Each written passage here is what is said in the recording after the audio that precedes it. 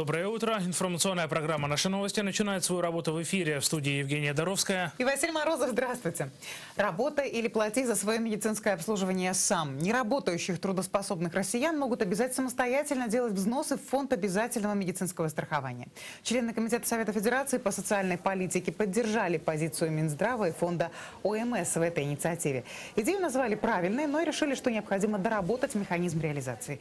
В пример ставится опыт Беларуси, где трудоспособные неработающие граждане платят за свое соцобеспечение сумму, эквивалентную 12 тысячам российских рублей в год.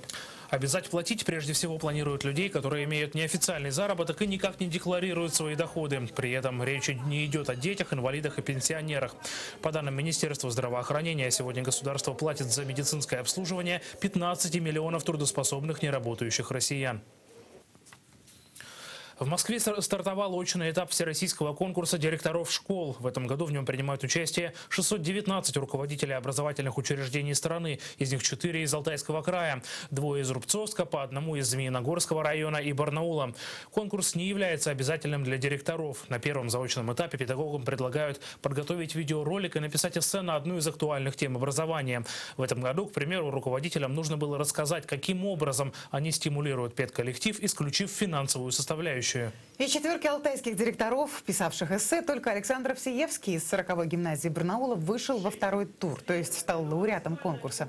Но в тридцатку лучших, тех, которые поехали в Москву на очный тур, Александр Георгиевич, к сожалению, не прошел.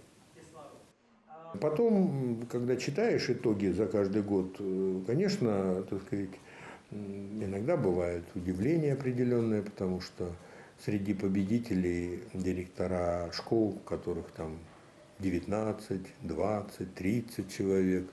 Вот. Ну, то есть сельские районы, в какие-то школы, так сказать, там очень маленькие коллективы. До Нового года еще больше месяца, а путевки в Белокуриху уже не найти, все раскуплены. Как пишет информационное агентство ТАСС со ссылкой на пресс-службу города, в предстоящие праздники гостиницы, санатории и отели курорта будут заполнены на 100%. Такая ситуация складывается третий год подряд.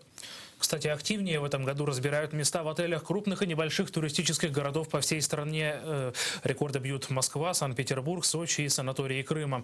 Лидер продаж горнолыжных курортов – Сочи. Спрос на туры в новогодние праздники превысил показатели прошлого года на 35%. И по прогнозам экспертов, отели будут переполнены, а продажи на топовые горнолыжные курорты остановятся уже в конце ноября. А мы решили узнать у жителей Барнаула, где они планируют встретить Новый год и поедут ли куда-то на праздники. Белокуриху? Ну, нет, на, на самом деле. Я как бы хочу дома со своей девушкой встречать. Вот. Белокуриху не очень. А почему? Далеко, холодно. Дома лучше. С друзьями и с родственниками. А поподробнее, где это будет? Барнаул, может быть, это будет? Барнауле, да, Барнауле, возможно, в каком-то заведении, а возможно, за городом. Вообще планировала Новый год встречать дома с семьей, с ребенком. А так не планировал никуда, если только по гостям походить на Новый год. Ну, хотелось бы очень сильно в Горном Алтае отметить. И как бы я планировала там с одним человеком. да нет. Ну, а так, наверное, будем дома. Так, с друзьями. Планов никаких. Играть на гитаре, не знаю, учиться немножко. Э, поэтому никаких. А именно сам встречать Новый год где будете?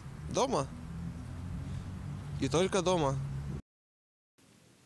38 предписаний вынесли барнаульские власти владельцам придорожных кафе, заправок и автосервисов в этом году. Цифру сегодня озвучили в мэрии на еженедельном совещании городских комитетов служб и ведомств. Какие требования в основном нарушают владельцы придорожного сервиса и какая судьба ждет одно из популярных кафе в Нагорной части Барнаула, расскажет наш корреспондент Алексей Янкин.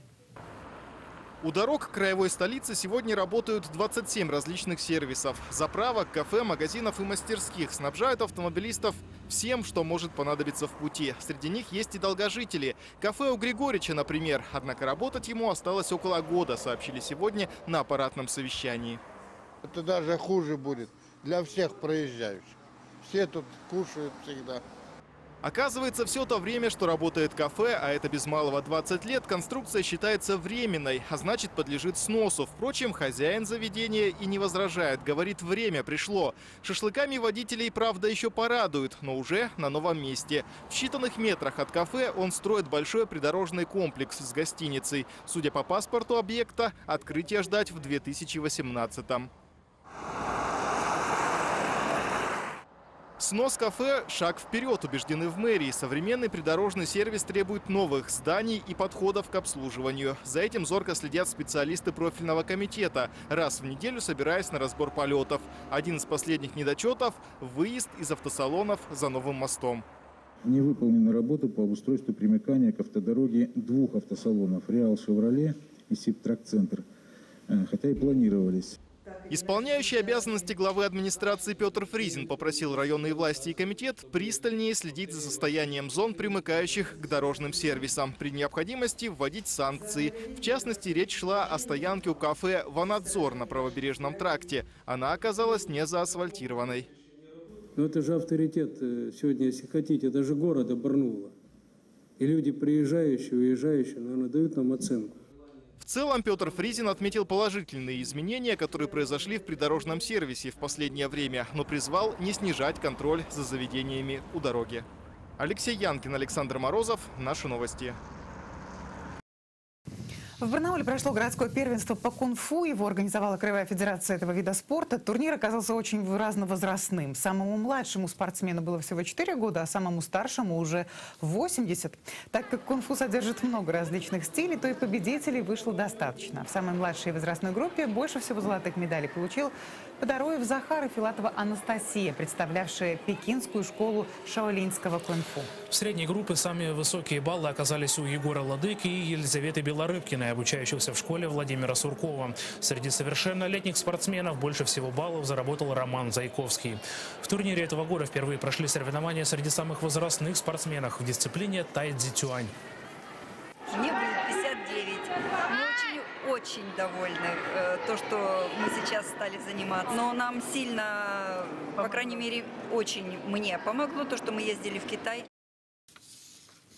Профессионалы самой сладкой кухни работают на предприятии «Албис». Представитель компании Вера Тавмасян в этом году стала победителем краевого конкурса «Лучший кондитер». Вера Тавмасян лучше других справилась с главным заданием. За полтора часа она изготовила несъедобную конструкцию, оформленную мастикой в зимней тематике.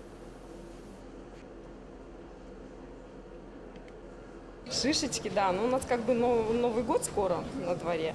Ну вот мы решили порадовать и Новым годом.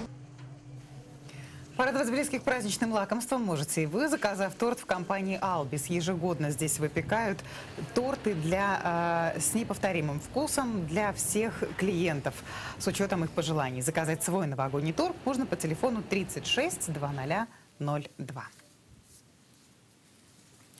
Какими событиями будет наполнен этот вторник, узнаем вместе из вечернего выпуска наших новостей. Напоминаем, телефон нашей редакции в Барнауле 659 129. Хорошего дня вам и до встречи.